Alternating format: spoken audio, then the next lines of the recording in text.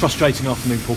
Yeah, frustrating. Missed uh, missed points, and uh, but we got to get on to the next. So um, bitterly disappointed with the result.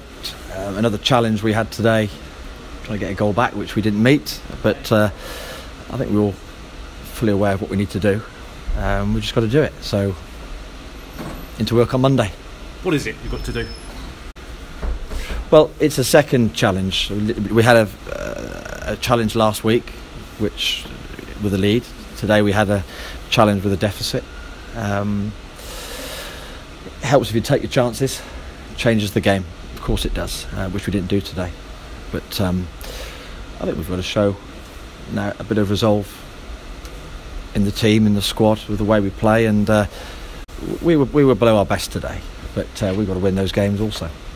Things got better in the second half. I mean, first half, Crewe got the goal, and, and, and there were chances. Chuks had an opportunity, I think, and you know, second half it was better. It was tighter. There were more opportunities, and you had the ball more in the second half. Yeah, I, think we were just trying too hard in the first half. We we, we, we were we were we were trying to do everything so soon. You know, we, we, we lacked a little bit of patience, which we, we gained in the second half. But as the game goes on, you know, the, the game became a bit a bit bitty and lost it lost its rhythm for us.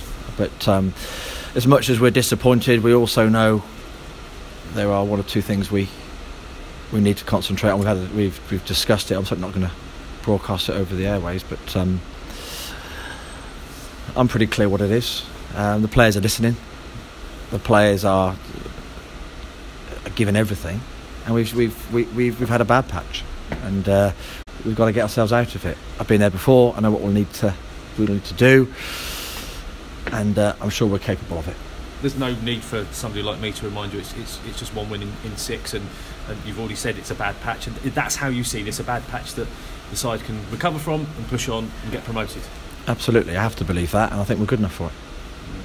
Um, as far as uh, the players, you, you changed it around at half time, and you brought Ryan Harley on. What was the thinking behind that? Was it because potentially just more of a more number ten and just changing? No, every every game's different, and the and the and I wanted to do something that that increased our our control of the game, which we didn't have in the first half. So look at it in those terms, then maybe that substitution makes makes sense. But uh, we just had too many players ahead of the ball, maybe. Have you got enough? Is the squad big enough and strong enough right now to get promoted, or do you need help? Do you need strengthening in this January transfer window? We're looking for additions, the right ones. Uh, regardless of answering your question, we're looking to improve, and every team will be doing the same thing. Um, we've got a we've got a large squad. Whether it's good enough over the last five or six games, it hasn't been. But I believe um, if we consider the season so far, yes. But we've got to we've got to get out of this uh, this bump in the road and uh, back on back into form. A bump in the road, it may be, but you understand the fans' concern at the moment with one win in six. Yeah, I'm concerned too.